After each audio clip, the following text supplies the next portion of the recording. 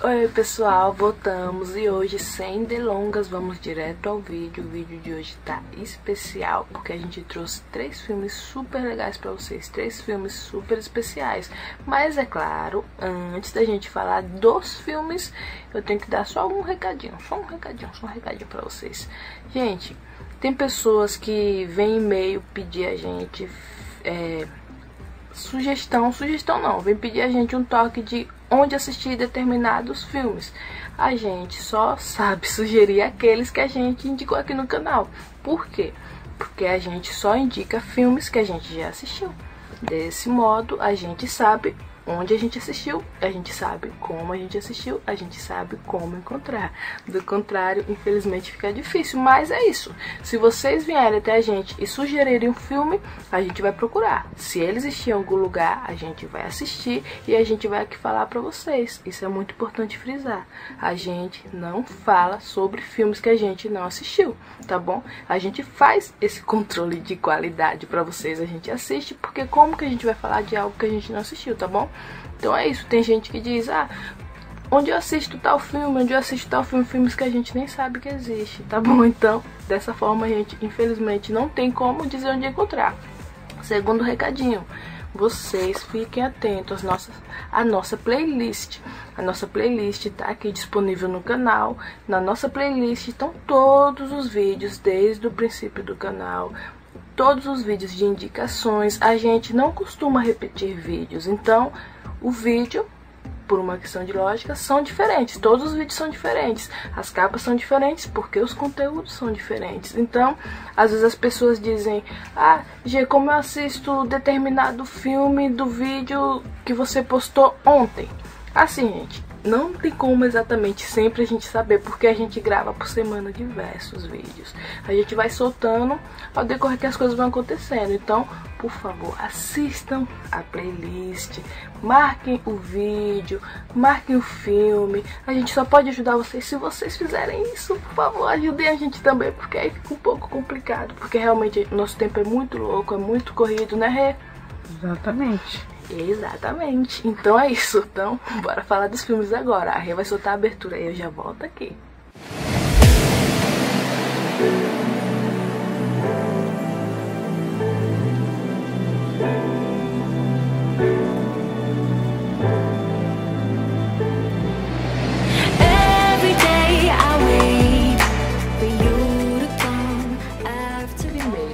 De hoje, Appropriation Behover. Filme alemão do ano de 2014 que traz fortes cenas sobre envolvimentos amorosos, famílias, términos, amigos. É um daqueles filmes envolventes que nos prende do começo ao fim. Bora falar um pouquinho dele agora.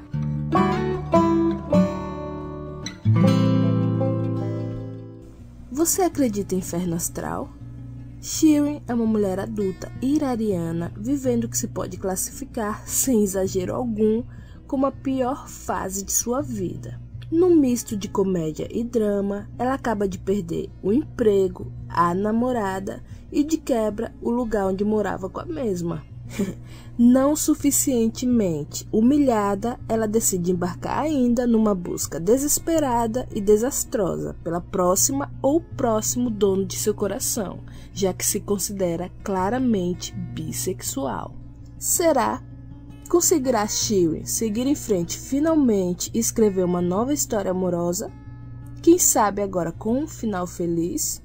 Ou Maxine, sua problemática ex, logo sairá desse posto lhes dando uma segunda chance? Ok, ok. Essas e outras perguntinhas básicas eu poderia até responder agora, mas tenho certeza que vocês vão preferir descobrir sozinhos. E como? Ué, basta pesquisar pelo título do filme certinho aqui mesmo na internet. E se tiverem dificuldades em encontrá-lo, já sabem, peçam help que ajudamos com todo prazer, combinado?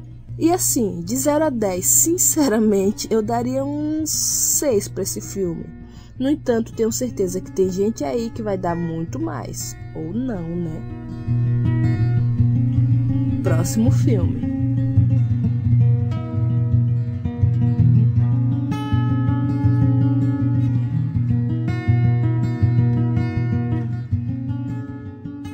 Próximo filme, Draw. E esse filme eu achei que já tinha falo aqui no canal, porque eu já tinha assistido ele, mas eu não tinha falo. E quem indicou ele recentemente pra mim foi a nossa inscrita querida Cláudia Aredes. Claudinha, beijão. E é isso, bora falar um pouquinho desse filme agora.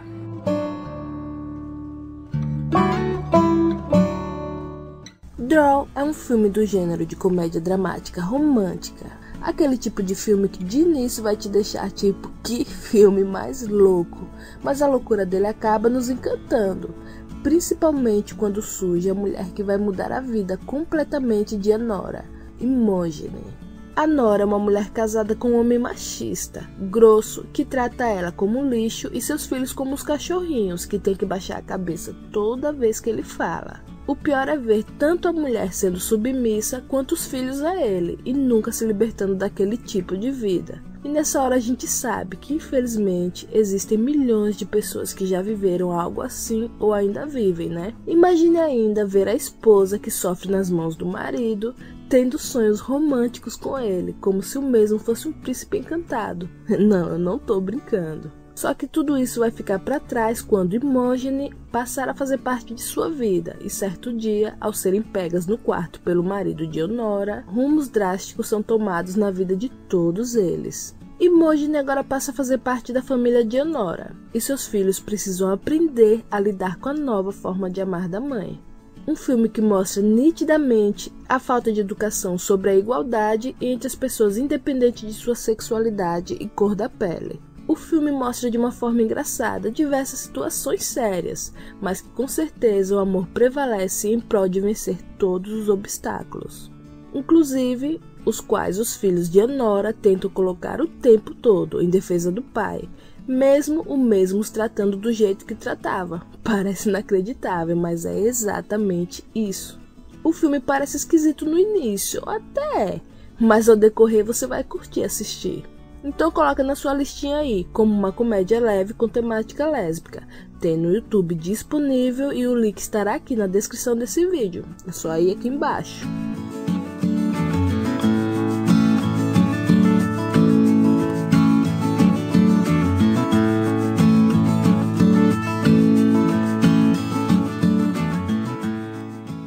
Para encerrar com chave de ouro, The Fourth Face the Liar. Você já assistiu o filme Imaginei Você?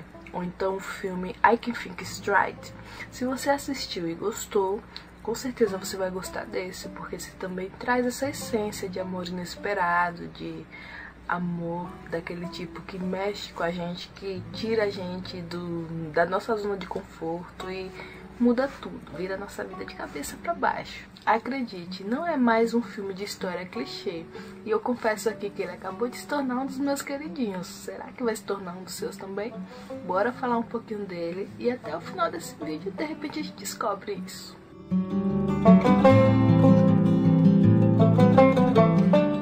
O filme começa exatamente quando cinco jovens se encontram em um pub famoso de Nova York no qual muitos jovens que estão apenas de passagem pela cidade acabam frequentando.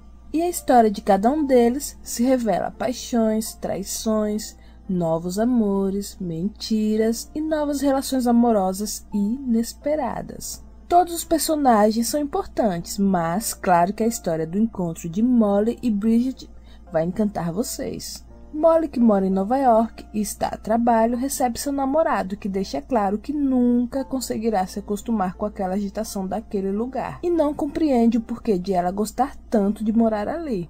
Bridget é uma pessoa independente que mora com seu melhor amigo, 100% lésbica assumida e que classifica as mulheres por nomes da semana. Sim, acredite, ela se olhasse para você agora diria se você seria uma terça ou uma sexta. O encontro dela com Molly não deixa nada claro que algo poderia acontecer entre elas, mas ao decorrer da história, as duas se tornam amigas e em meio a brincadeiras de cantadas bobas, ela vai atiçando a curiosidade da amiga. E Molly, na sua curiosidade, vai percebendo que Bridget está se tornando alguém que ela não consegue ficar por um dia sem estar perto. Claro que seu namorado Greg, ao saber das conquistas de Bridget com as mulheres, não fica nada feliz ao vê-la saindo direto com Molly e começa a demonstrar ciúmes completo dessa relação, o que incomoda Molly.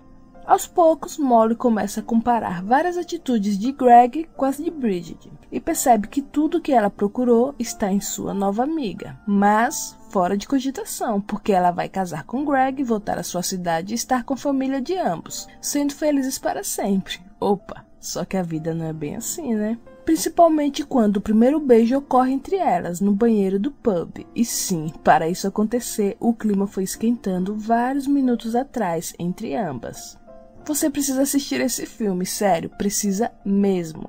Amizade, paixão, desejo, amor entre duas mulheres que aprendem uma com a outra o que realmente é o verdadeiro amor, é tudo que você verá nesse filme.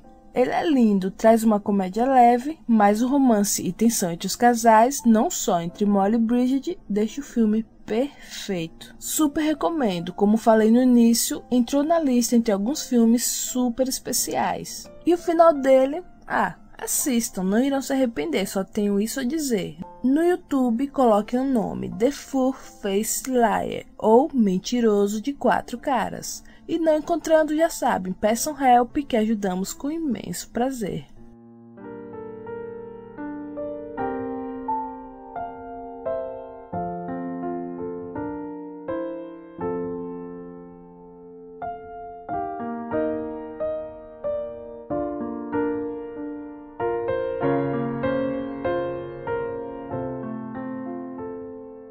Assim chegamos ao final de mais um vídeo. Espero que vocês tenham curtido, espero que vocês consigam assistir os filmes. E já sabem, qualquer dúvida sobre eles ou sugestão de outros conteúdos, nosso e-mail tá aqui na descrição do vídeo, tá bom? Beijão e até o próximo vídeo.